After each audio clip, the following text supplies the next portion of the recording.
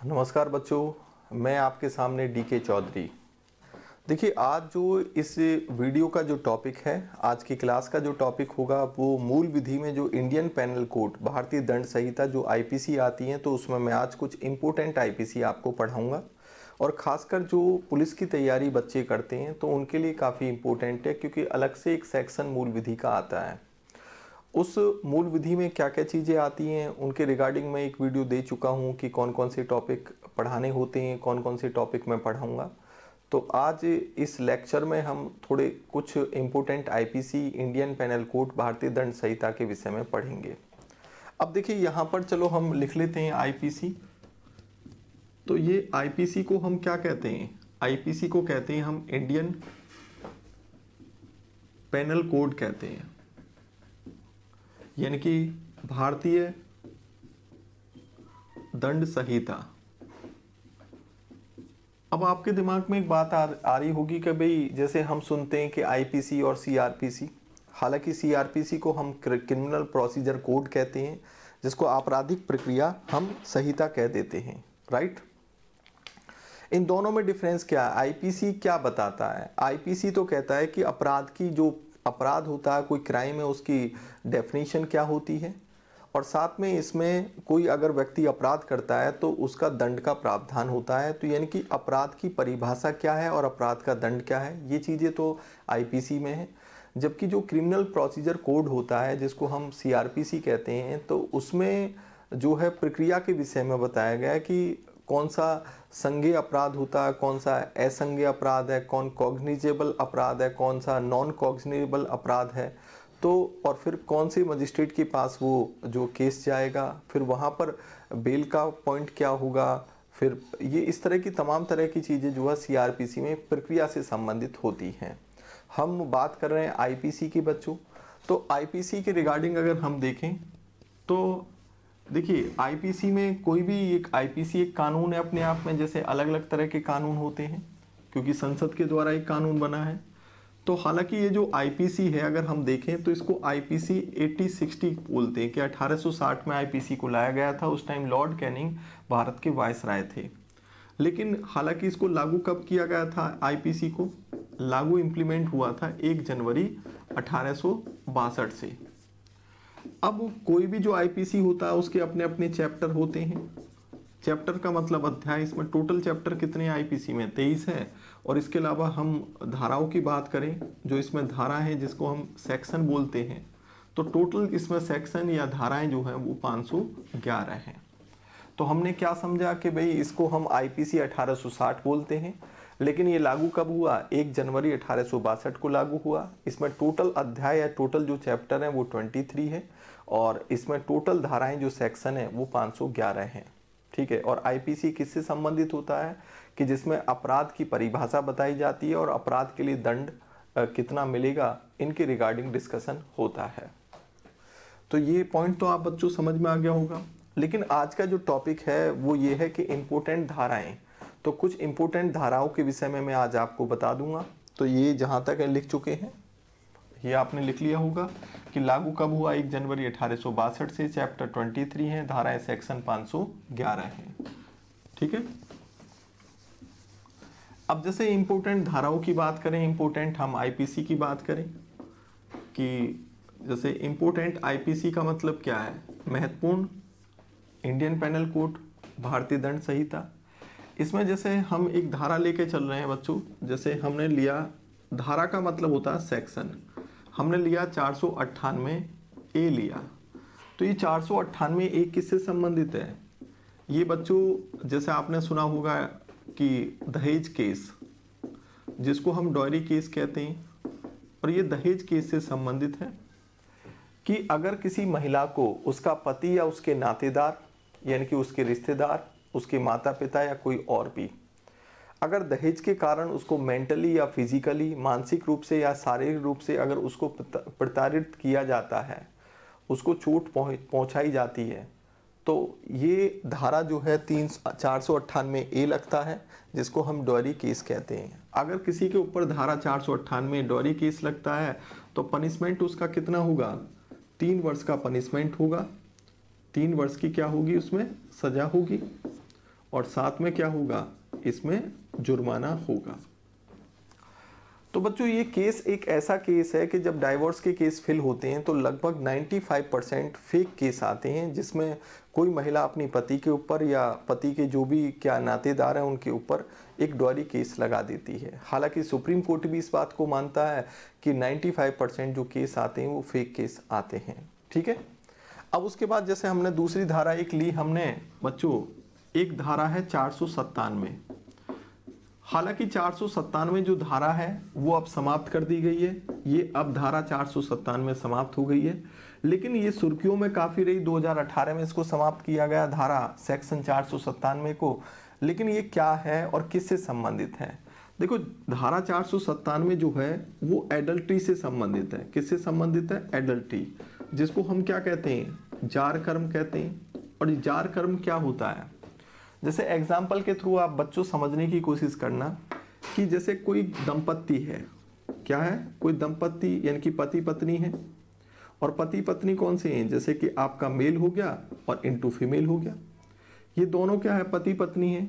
लेकिन अब क्या है कि बाहर का कोई बाहर का कोई मेल है। अब ये जो बाहर का मेल है, इस मेल का जो है, इस फीमेल के साथ कोई रिलेशन बन जाता है। ठीक है? अब मेल को पता पड़ती है। तो मेल को मालूम हुआ तो मेल क्या काम करता था आपसे पहले?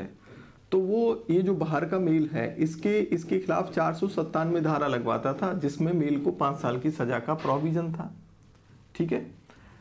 फीमेल को कोई सजा नहीं होती थी। अब दूसरा स्ट्रक्चर देखो, कि अगर मैं यहाँ लिखूँ फीमेल और यहाँ लिखूँ मेल मान लीजिए कि यहाँ पर मैंने लिखा फीमेल ये जो मेल है इसका इस फीमेल के साथ, जो बाहर की कोई महिला है, उसके साथ कोई रिलेशनशिप हो जाता है। तो अब ये जो फीमेल है, इसको जानकारी मिलती है तो वो किस पे, यानी कि चार सौ सत्तानवे की धारा इस फीमेल पे नहीं लगेगी, इस मेल पे ही लगेगी। तो कुल मिलाकर इस धारा की सबसे बड़ी कमी ये थी कि भाई मेल के ऊपर ही सजा का प्रोविज़न था, और वो सजा का प्रोविज़न कितना था? पाँच साल। महिला को कोई सजा नहीं हो रही थी। तो चार सौ सत्तानवे धारा को जब सुप्रीम कोर्ट ने समाप्त किया तो एक कंसेप्ट ये भी रखा गया कि भाई मेल और फीमेल दोनों के लिए पाँच साल का सजा का प्रोविज़न रख दो। लेकिन हुआ क्या कि ऐसा नहीं, सुप्रीम कोर्ट ने अपना डिसीज़न दिया, क्योंकि अगर हम अन्य देशों की बात करें, हम ब्रिटेन की बात करें, अमेरिका की बात करें, फ्रांस की बात करें तो वहाँ एडल्टी जैसा कोई कानून ही नहीं है। यानी कि इसका मतलब एक राइट टू प्राइवेसी का अधिकार हर व्यक्ति को है राइट टू फ्रीडमनेस का अधिकार हर व्यक्ति को है कि अगर कोई मेल या फीमेल किसी बाहर के किसी व्यक्ति के साथ अगर रिलेशनशिप में अगर हो जाता है तो ये कानूनन कोई जुर्म नहीं माना जाएगा। तो चार सत्तानवे धारा समाप्त कर दी गई। तो पहले ये एक एडल्टी जो था, वो एक कानून के दायरे में था, जिसमें एक सजा का प्रोविज़न पाँच साल का था, लेकिन अब वो सजा का प्रोविज़न समाप्त हो चुका है। अब चार सौ सत्तानवे धारा समाप्त हो चुकी है, लेकिन अभी आप सुर्खियों में देखोगे तो जो फोर्स के लोग हैं, जो फौजी हैं, वो चार सौ सत्तानवे धारा का अब विरोध कर रहे हैं कि चार सौ सत्तानवे धारा को समाप्त नहीं किया जाना चाहिए, क्योंकि इससे तो पति और पत्नी को एक तरीके से बाहर संबंध बनाने का पूरा अधिकार मिल जाता है, क्योंकि अब उनके खिलाफ कोई केस तो हो नहीं सकता। हाँ इतना ज़रूरी है कि मेल और फीमेल जार कर्म के आधार पर डाइवोर्स ले सकते हैं, यानी कि वो जो है एक एक दूसरे से अलग हो सकते हैं। इसको मेन आधार मान लिया जाएगा। तो कुल मिलाकर चार में जो धारा थी तो अब से पहले जो है पाँच साल का सजा का इसमें प्रोविज़न होता था। और ये एडल्टी जार कर्म क्या है, ये आपको समझ में आ गया होगा। ठीक है? अब उसके बाद बच्चों, एक है धारा 377 ये धारा 377 की हम बात करते हैं तो इसको भी 2018 में क्या कर दिया गया? धारा 377 को भी समाप्त कर दिया गया है। हालाँकि इसमें धारा 377 में क्या था? ये 10 वर्ष और जुर्माने इसमें सजा का प्रोविज़न इतना था। धारा 377 किससे संबंधित है? धारा 377 का जो संबंध है वो एक तरीके से यानी कि इनफॉर्मल हम ये कह सकते हैं आ, धारा 377 ये ऑफेंस की बात करता है, धारा 377 unlawful offence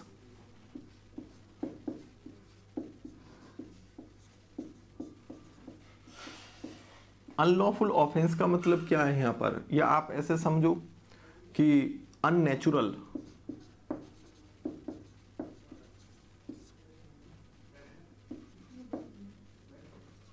relationship unnatural relation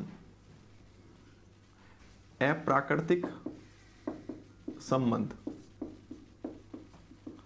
देखो, अप्राकृतिक संबंध का क्या मतलब है यहाँ पर? धारा 377 अब नहीं है। हालाँकि ये काफ़ी सुर्खियों में रही कि जैसे आपने देखा होगा कि मेल के मेल का मेल के साथ एक संबंध बनता है, फीमेल का मेल के फीमेल का फीमेल के साथ कोई संबंध बनता है तो ये अननेचुरल माना जाता है अप्राकृतिक। या मेल हो या फीमेल हो, इसका किसी एनिमल्स के साथ कोई रिलेशन बनता है? जानवर के साथ? ठीक है? तो ये अननेचुरल में आते हैं। अब क्या हुआ कि धारा 377 को समाप्त कर दिया गया है कि अगर कोई मेल मेल के साथ रहना चाहता है, कोई फीमेल फीमेल के साथ रहना चाहती है तो वो अब रह सकते हैं, उनको कानूनी अधिकार मिल चुका है। तो ये अब इसमें कोई दंड का प्रावधान नहीं है। हालाँकि अब आपने सुर्खियों में देखा होगा, अखबार में भी कभी कभी आप पढ़ते होंगे कि भाई मेल मेल के साथ रिलेशनशिप में है या फीमेल फीमेल के साथ रिलेशनशिप में है तो इसको अननेचुरल माना जाता है। लेकिन हवाला सुप्रीम कोर्ट ने कहा कि राइट टू प्राइवेसी का हवाला दिया। ठीक है आर्टिकल 21 का हवाला दिया, जिसमें ये कहा कि एल एल का मतलब क्या है? कि एलजीबीटी को अभी अधिकार दिए जाते हैं। एल का मतलब होता है लेस्बियन जी का मतलब होता है गे बी का मतलब बाइसेक्सुअल और ये टी का मतलब ट्रांसजेंडर जो लेस्बियन होते हैं एल का मतलब लेस्बियन है मेल का मेल के साथ संबंध होना, वो लेस्बियन माने जाते हैं। जी का गे का मतलब क्या होता है? न लेस्बियन का मतलब है महिला का महिला के साथ संबंध होता है गे का मतलब है मेल का मेल के साथ संबंध होता है। बी का बाइसेक्सुअल का मतलब क्या होता है कि मेल या फीमेल यानी कि किसी मेल का मेल या फीमेल के साथ बाइसेक्सुअल यानी कि एक संबंध हो सकता है। ट्रांसजेंडर का मतलब क्या होता है? ट्रांसजेंडर का मतलब होता है, बच्चों जब हम ट्रांसजेंडर की बात करते हैं जो थर्ड पर्सन होता है जिसको हम क्या कहते हैं आ, अरे थर्ड पर्सन का मतलब आप जानते हो कि थर्ड पर्सन किसको बोला जाता है? ठीक है? जो आए दिन हम थर्ड पर्सन को देखते रहते हैं सुप्रीम कोर्ट ने भी थर्ड पर्सन को अधिकार दे दिया गया है ट्रांसजेंडर जिसको हम कहते हैं। तो यहाँ पर एक बात समझ समझ में आई कि ये काफ़ी दिन से ये लड़ाई लड़ रहे थे कि हमें एलजीबीटी यानी कि हमें अधिकार मिलना चाहिए तो अब इनको अधिकार दे दिया गया है। कि अगर कोई मेल मेल के साथ रह सकता, फीमेल फीमेल के साथ रह सकती है तो एलजीबीटी इसको राइट बोला जाता है। तो धारा 377 को समाप्त करते हुए कहा कि अगर कोई अननेचुरल रिलेशनशिप में है तो इसके लिए कोई कानूनी अपदंड का कोई प्रावधान नहीं होगा। धारा 377 समाप्त हो गई है। अब इसमें एक चीज़ और है अब मेल मेल के साथ फीमेल फीमेल के साथ। तो अब यहाँ तो कोई सजा का प्रोविज़न नहीं है। लेकिन मेल या फीमेल अगर किसी एनिमल्स के साथ अननेचुरल रिलेशनशिप में है तो वहाँ पर कानूनी सजा का प्रावधान दिया गया है। और इस कानूनी सजा में ये कि अब उसको सजा इस मामले में हो सकती है और इसमें सजा कितनी होती है? दस वर्ष की सजा और क्या होता है बच्चों? जुर्माना होता है। क्या होता है? जुर्माना। तो ये तीनों धाराएँ आपको जहाँ तक समझ में आ गई होंगी, चार सौ अट्ठानवे ए दहेज केस से संबंधित है, जिसमें तीन वर्ष की सजा और जुर्माना होता है। धारा चार सौ सत्तानवे एडल्टी जार कर्म से संबंधित था, जिसको 2018 में समाप्त कर दिया गया है। हालाँकि इसमें पाँच साल की सजा का प्रोविज़न था। ये धारा 377 ये भी 2018 में समाप्त हो गई। ये एलजीबीटी को अधिकार मिल गया इसमें। कि अब मेल मेल के साथ रह सकता फीमेल फीमेल के साथ रह सकती है, लेकिन मेल या फीमेल एनिमल्स के साथ कोई रिलेशनशिप नहीं बना सकते। अगर बनाते हैं तो दस वर्ष की सजा और जुर्माना होगा। ठीक है? ये पॉइंट आपको क्लियर समझ में आए कि नहीं आए? आ गया होगा, और जहाँ तक आपने लिख लिया भी होगा। लिख लिया? अब, नालायक को लिखा के नहीं लिखा? हंस और रहे हो अभी? चलिए, खैर। तो जहाँ तक है बच्चों, आपने लिख लिया होगा ये, और समझ में भी आ गया होगा। धाराएँ बच्चों बड़े अच्छे से, आप अच्छे से रट जाओगे आप, और धाराएँ को ज़्यादा 511 धाराएँ नहीं पूछी जाएँगी आपकी। वो लगभग 100 डेढ़ सौ धाराएँ इंपोर्टेंट होती हैं जो आती हैं, ठीक है? ये आप लोगों ने जहाँ तक है इसको क्लियर कर लिया। अब देखिए इसके अलावा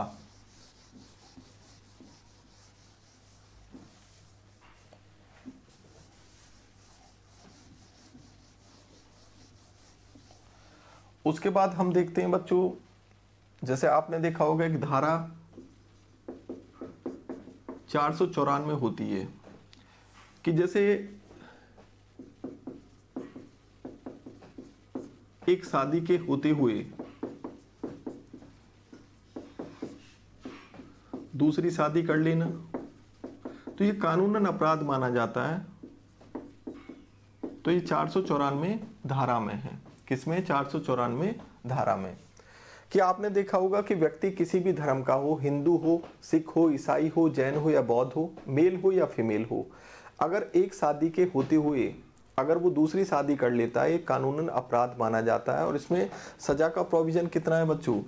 इसमें सजा का जो प्रोविज़न है, वो सात वर्ष, और क्या होगा? वो जुर्माना होगा। लेकिन मुस्लिम पुरुष को छोड़कर, मुस्लिम पुरुष जो है वो आईपीसी की धारा चार सौ सत्तानवे के अंतर्गत नहीं आएगा। ओनली मुस्लिम महिला नहीं, मुस्लिम, केवल मुस्लिम पुरुष को छोड़कर, क्योंकि वो तीन तीन, चार चार या छः छः शादियाँ कर सकता है। चार सौ चौरानवे धारा मुस्लिम पुरुष पर काम नहीं करती है। यूनिफॉर्म सिविल कोड की वजह से जो हमारे संविधान के आर्टिकल जो कि 44 में लिखा हुआ है, उसके अनुसार। तो यानी कि अगर नालायक को तुमने एक शादी के होते हुए अगर दूसरी शादी कर ली ना तो यानी कि सात साल की सजा और सजा का, यानी कि एक जुर्माने का प्रोविज़न है। ठीक है, समझ में आ गया? अब उसके बाद बच्चों, हम बात करते हैं, जैसे एक धारा एक तीन सौ है। ये धारा तीन सौ जो है, वो डेथ की परि, यानी कि एक मर्डर की परिभाषा को बताता है। मर्डर का मतलब होता है, ठीक है, हत्या।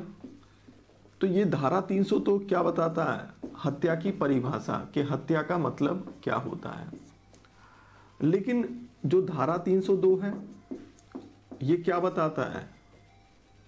हत्या का दंड, यानी कि पनिशमेंट ऑफ़ मर्डर बताता है। और पनिशमेंट ऑफ़ मर्डर की अगर हम बात करें तो इसमें सजा का प्रोविज़न क्या है? कि या तो उसको मृत्यु दंड दिया जाएगा, या क्या होगा? मृत्यु दंड के अलावा उसे आजीवन कारावास और जुर्माना। इस दंड से उसको दंडित किया जाएगा। लेकिन यहाँ पर एक बच्चों, एक और बात आती है, जैसे हम कई बार पढ़ते हैं, एक धारा आती है 299 ये काफ़ी इंपोर्टेंट धारा है, जो कल्पेबल कल्पेबल एक होमिसाइड की बात करता है। इसको कहते हैं आपराधिक मानव वध इसमें भी हालाँकि हत्या की बात की गई है, लेकिन यहाँ पर हत्या हत्या नहीं मानी जाती। इसको हम आपराधिक मानव दंड कहते हैं मानव वध कहते हैं। तो इसमें पाँच पॉइंट है जिससे मैं समझा देता हूँ। एक तो होता है सडन प्रोवैक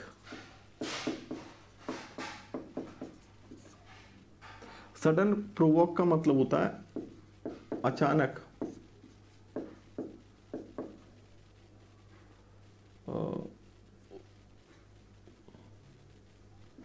उकसाना प्रोवोक करना। एक होता है यहाँ पर private defence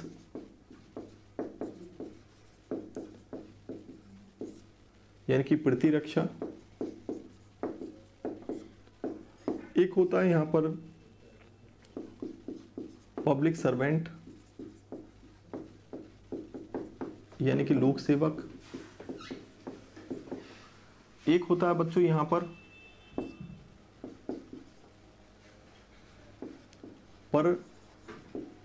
meditation in sudden fight यानी कि कहने का मतलब है कि बिना पूर्व चिंतन किए, चिंतन की फाइट करना, अचानक फाइट करना, एक होता है बच्चों ऑन कंसेंट आपसी राजीनामा। आपसी राजीनामा। अब देखो बच्चों, यहाँ पर क्या मतलब है इसका? पहले तो इनको लिख लो। तो कल्पेबल होमिसाइड, जो कि धारा दो सौ निन्यानवे है, जिसको आपराधिक मानव वध कहते हैं, इसका मतलब है सडन प्रोवोक अचानक उकसाना, प्राइवेट डिफेंस प्रतिरक्षा, पब्लिक सर्वेंट लोक सेवक, पर मेडिटेशन इन सडन फाइट, बिना पूर्व चिंतन के फाइट करना, और एक आपसी राजीनामा ऑन कंसेंट। तो इन पॉइंटों को लिखूँ, मैं समझा देता हूँ आप लोगों को।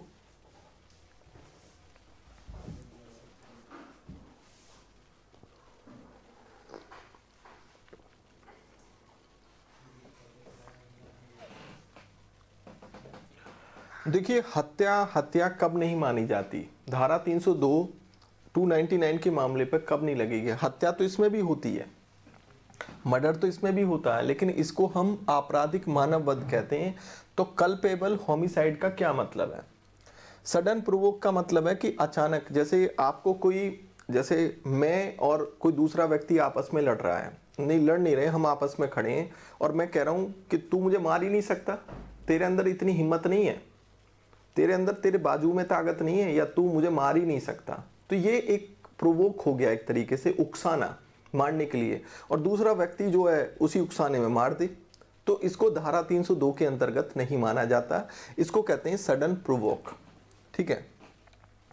दूसरा होता है प्राइवेट डिफेंस यानी कि अपनी प्रतिरक्षा में अगर कोई अपनी रक्षा के लिए किसी दूसरे व्यक्ति को मार देता है तो प्राइवेट डिफेंस ये मर्डर के मामले में धारा 302 यहाँ नहीं लगेगी।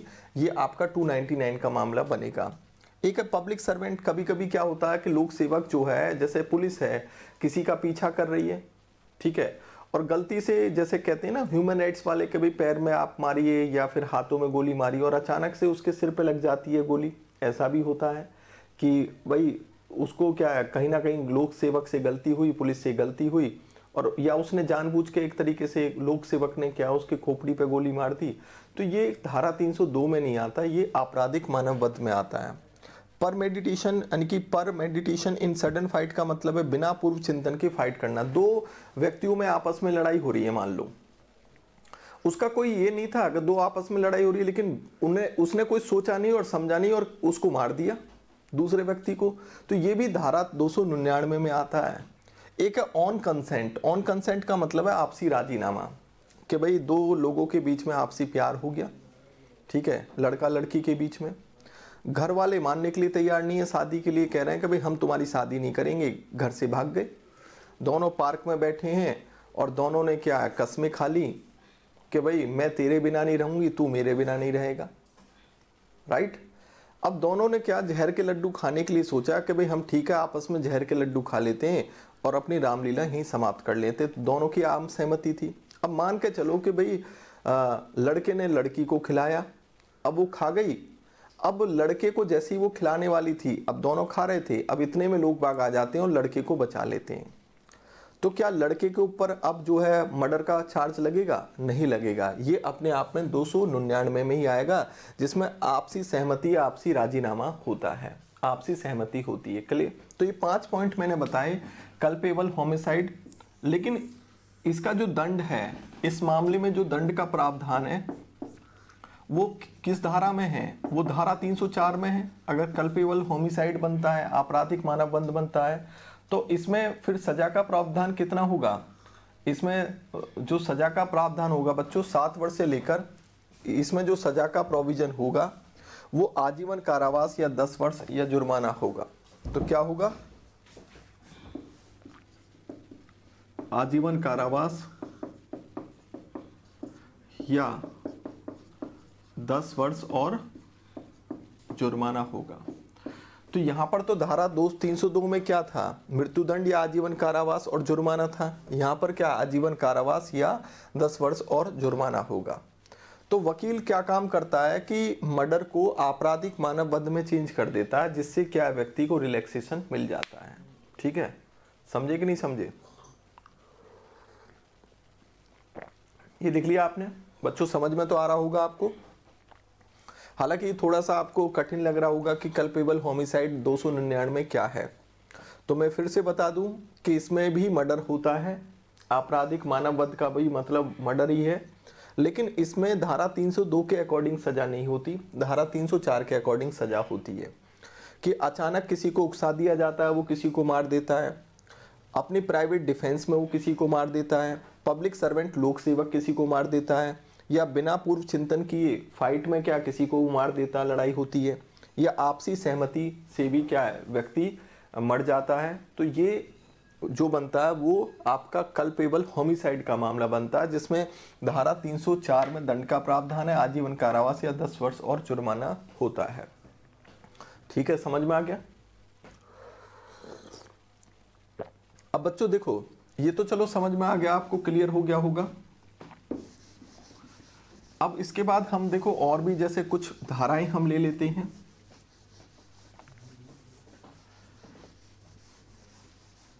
अब देखो यहाँ पर आती है बच्चों, अब जैसे हम धारा 307 की बात करते हैं। धारा का मतलब सेक्शन है और 307 का मतलब क्या? Attempt to murder attempt to murder जैसे कहते हैं ना, धारा 307 लग जाएगी, मारने का प्रयास। तो मारने के प्रयास में बच्चों, एक बात ध्यान रखना कि जिसको मारे, मारा जा रहा है या मारने का प्रयास किया है, वो खुद अपने आप में एक प्रूफ होता है। तो धारा 307 कमज़ोर नहीं होती, बहुत पावरफुल होती है। इसमें सजा का प्रावधान कितना है? दस वर्ष की सजा होगी और इसमें जुर्माना होगा। अगर आपके ऊपर अटेम्प्ट टू मर्डर का केस लग जाता है। अब उसके बाद बच्चों, एक आती है धारा, जैसे हम पढ़ते हैं 504 504 का मतलब होता है कि जैसे आपस में कभी कभी होता है ना कि गाली गलौच हो जाती है।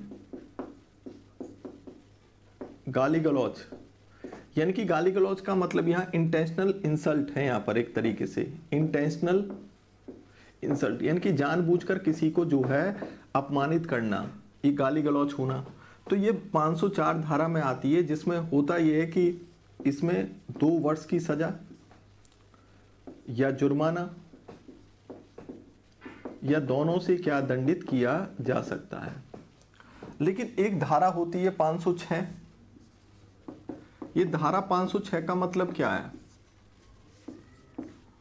इसमें होता है धमकी देना।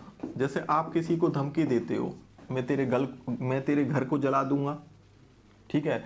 मैं तुझे मार दूँगा, मैं तेरे साथ रेप कर दूँगा। ये धारा 506 में आते हैं। और बड़ी इंपॉर्टेंट धारा है 506 बच्चों, धमकी देना एक तरीके से। तो धमकी देने में आपने देखा होगा कि इसमें सजा का, वैसे तो आप जनरली कोई धमकी देते हो तो दो वर्ष की सजा है। तो कितने वर्ष की सजा है इसमें? दो वर्ष या जुर्माना? या दोनों है। लेकिन अगर आप धमकी कैसी देते हो, जान से मारने की धमकी देते हो तो यदि आप किसी को जान से मारने की धमकी, जैसे मोबाइल फ़ोन पर उसने जान से मारने की धमकी दी और आपने उसकी रिकॉर्डिंग कर ली। तो ये धारा कौन सी बनेगी? 506 बनेगी। और अगर यदि जान से मारने की धमकी दी है तो तब सजा का प्रोविज़न कितना होगा? सात वर्ष या जुर्माना या आपका दोनों हो जाएगा। तो समझ में आ गया? तो जान से मारने की धमकी किसी को मत दे डालना, नहीं तो धारा 506 लग जाएगी। तो इसमें क्या धमकी देना? जैसे कहते हैं ना, मैं तुझे देख लूँगा, ठीक है? तेरे घर को जला दूँगा, तेरे मतलब हर तरह की बात बात होती है, लेकिन जान से मारने की धमकी देते हो तो बच्चों वहाँ सात वर्ष या जुर्माना या दोनों का प्रावधान होगा। क्लियर हो गया कि नहीं हुआ? क्लियर समझ में आ गया? एक बच्चों एक धारा होती है 323 जैसे 323 की मात मतलब होता है सामान्य मारपीट। क्या होता है इसमें? सामान्य मारपीट। जैसे होता है ना, आपस में लड़ाई हो जाती है, एक दो चांटे लगा दिए किसी के आपस में तो इसको हम सामान्य मारपीट कहते हैं। हालाँकि इसमें पुलिस गिरफ़्तार, पुलिस के पास जाते हैं तो कहती है, चलो छोड़ो। लेकिन फिर भी ये धारा जो है, जिसको हम सामान्य मारपीट की धारा कहते हैं, इसमें भी क्या है बच्चे? एक वर्ष की सजा, या जुर्माना, या दोनों हैं। समझ में आ गया? धारा 323 लग जाती है उस मामले पर। तो यहाँ तक बच्चों, मुझे लगता है कि आपको समझ में आ गया होगा। समझ में आया कि नहीं आया? एक होती है, बच्चे, धारा, जैसे आपने देखा होगा कि एक धारा 304 ए होती है। लापरवाही में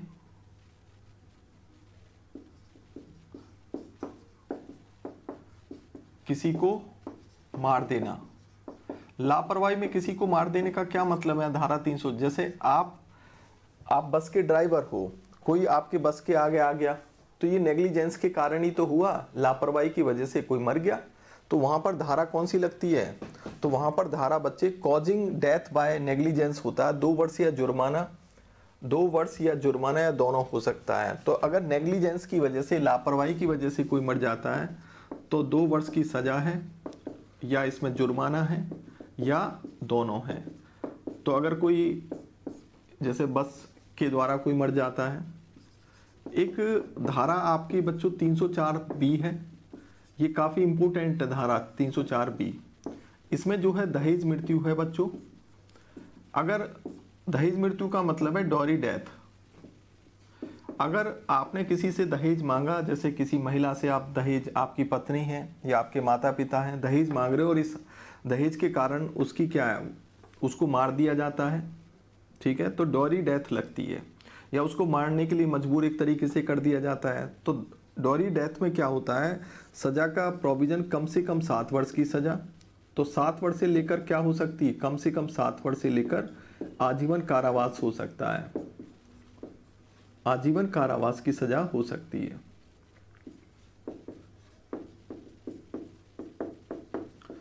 तो बच्चों, यहाँ पर मैंने धारा 304 बी बताई, दहेज मृत्यु है 304 ए में नेग्लिजेंस की वजह से कोई अगर मर जाता है। तो कुल मिलाकर बच्चों, यहाँ पर मैंने कई धाराओं के विषय में बताया।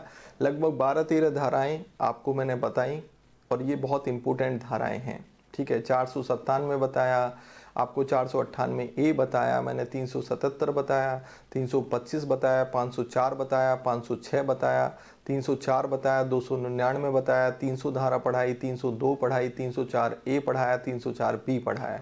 तो ये जितनी भी धाराएँ काफ़ी इम्पोर्टेंट धाराएँ तो ये धाराओं से संबंधित मैंने आपको एक एक आपको कुछ पॉइंट आपको क्लियर किए। कि आईपीसी उन लोगों के लिए बहुत इंपॉर्टेंट है जो पुलिस की तैयारी कर रहे हैं, क्योंकि आईपीसी से क्वेश्चन धाराओं के रिगार्डिंग पूछ लिया जाता है। तो बच्चों, आज का जो वीडियो लेक्चर है, वो मैं यहीं पर समाप्त करूँगा। ये तो आप देख ही पा रहे हो, ये आपने लिख लिया होगा, ठीक है?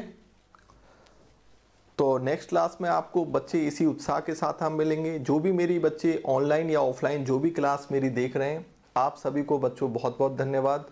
नमस्कार बच्चों गुड बाय